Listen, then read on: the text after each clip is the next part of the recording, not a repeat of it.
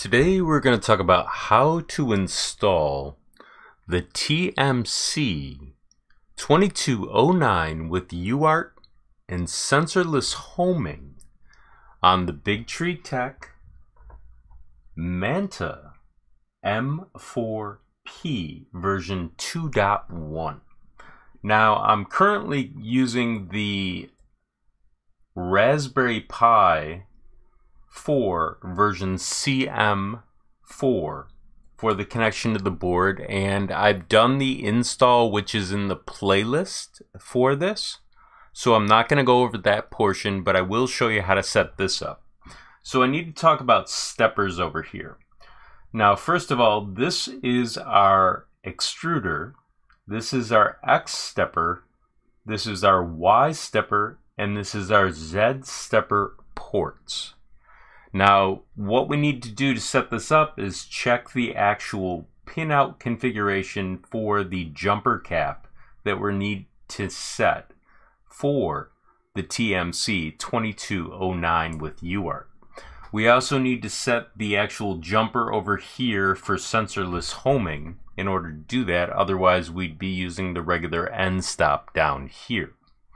So to do this, what we're going to do is go over to the manual for a second and check this out. So if I go over to the actual desktop here, you can see that we can go to repositories and we can search on the Manta and actually select it right here for our version. Now I've already downloaded this and extracted it. So if you need your actual firmware, it's down in here, but it's actually firmware.bin. You'll have to rename this because the USB part is not part of the name. But what I want to actually show you is the actual jumper caps. So if I go over here, you can see that we have step dir drivers. We're not using any of these types. So I'm going to scroll down to the type we're using, which is the UART mode for TMC drivers. So you can see right here we have the TMC 2209 and the jumper cap needs to be right here. So I'm going to place that in there and also up here we have the jumper cap for sensorless homing which is in this manual as well. But for brevity I am not covering that right now. So let's go back over to the desk for a moment and I'm going to put the jumper cap on for sensorless homing, which is right here. Then I'm going to place the jumper for the actual UART cap in its place, which will be right in here.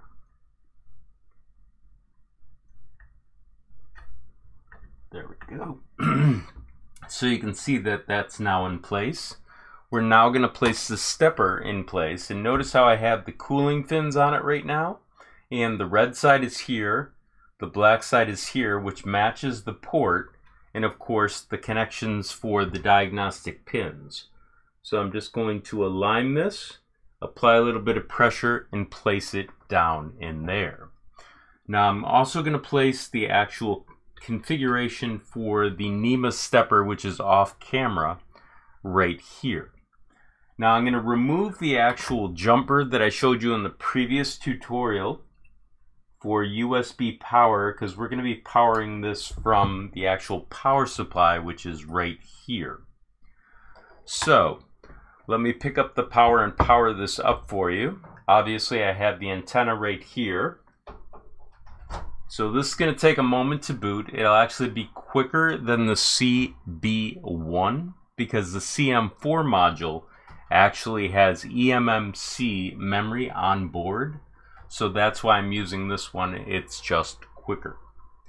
So obviously I have my thermistors connected like I did before at the end of the other tutorial. And the reason for that is so that I don't get errors for the actual temperature. So I can show you the other functionality. So let's go over to the actual computer for a second and we're going to look over here while it's booting. And as you can see, we've already done the install, but we need to know how to do the configuration and installation.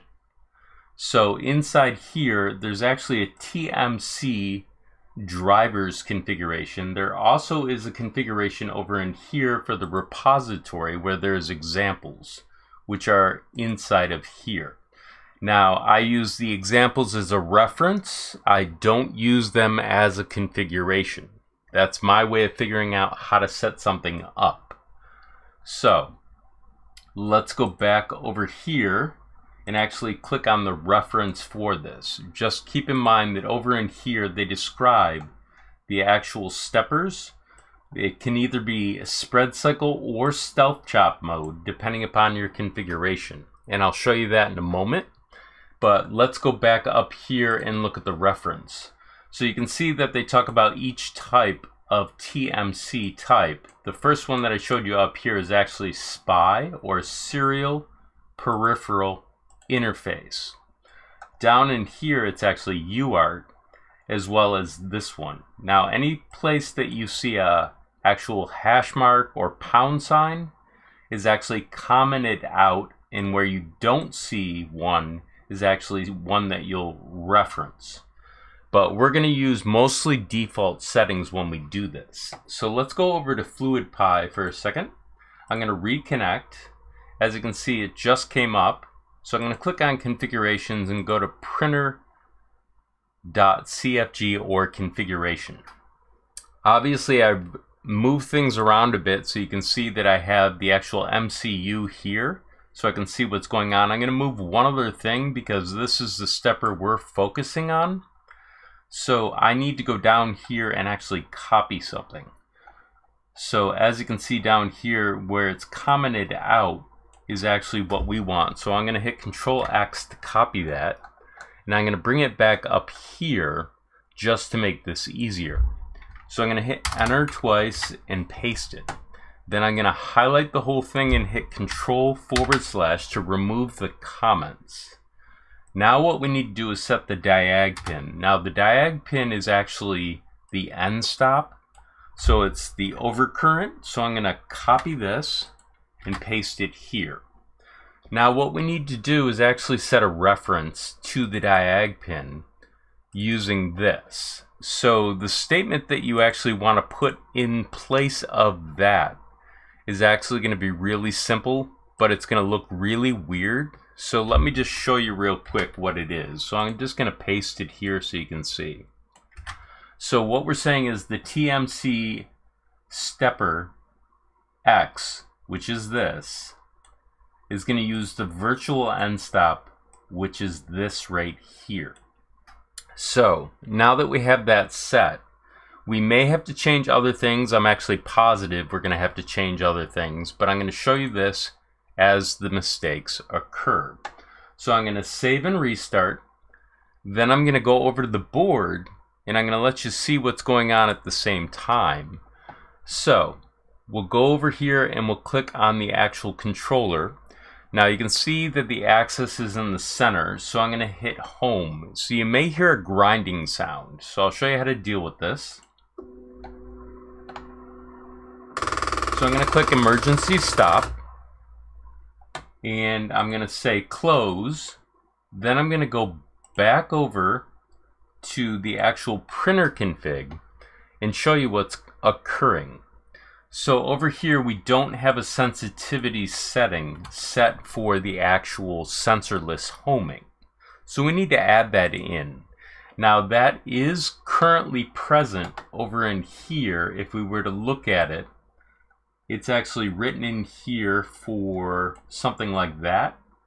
So I would copy this normally, but I actually already figured out what the value is for my setup. This may vary for your setup, but the sensitivity or driver strength is what we're actually looking for.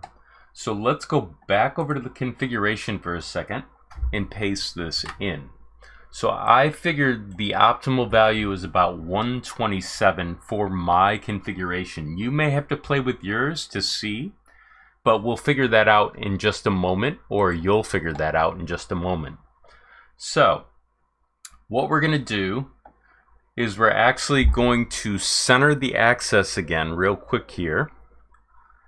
We're going to then save and restart. And what we're going to do is go back over here and try and home the access.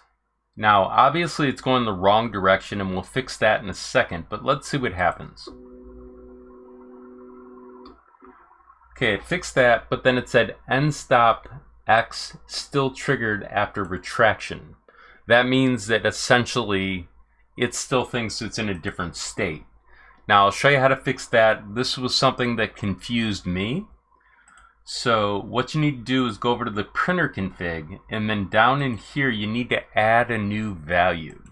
And that value will be the actual homing retraction distance. So I'm going to paste that in and I'm going to also fix the actual wrong direction because you can see dir pin. So I'm going to put an exclamation point to say go the other way. So I'm going to save that. Then I'm going to go back over and reset this to the center for a second.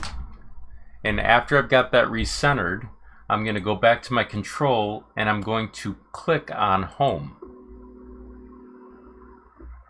So you now can see that it home correctly. If you hit the actual 25 down here and then the right arrow, it'll move. So, essentially, we now know how to actually set up sensorless homing and actually get it to configure correctly. So at this moment, I want to thank my patrons as well as the people on PayPal. And I will place a thank you note at the end of this video thanking you all for your contributions. Now, keep in mind it is in the description if you're interested in doing that. So everyone take care, be safe, and have a nice day.